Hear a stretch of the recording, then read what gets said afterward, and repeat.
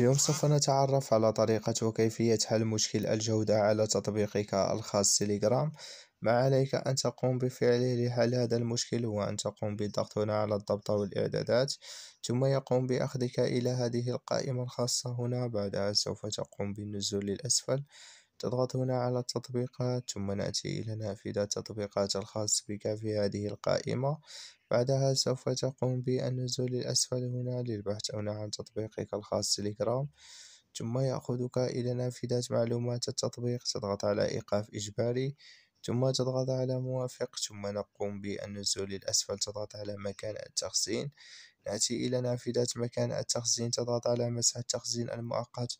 ثم ما عليك. أن تقوم بفعله هو أن تقوم بإطفاء وتشغيل الواي فاي الخاص بك لكي يقوم بتحديث التطبيق وحل المشكل وهنا نكون قد انتهينا من هذا الفيديو. لا تنسوا الاشتراك والضغط على الزر لايك